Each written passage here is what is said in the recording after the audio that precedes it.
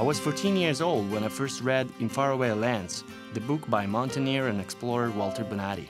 In his story of his solitary adventures, I found words that I would have liked to write myself, but above all, emotions that I longed to experience one day, just like he did, without compromise.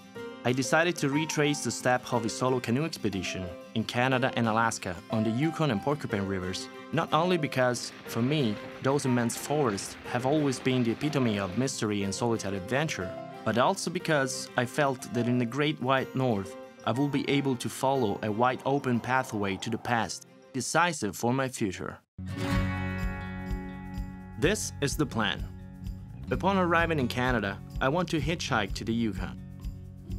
The road that leads west is the legendary Trans-Canada Highway. Then you head north on the Alaska Highway till the immense tundra of the Yukon Territory. It is from Whitehorse that the canoe expedition will begin following the very same route as Bonatti, all the way to Alaska.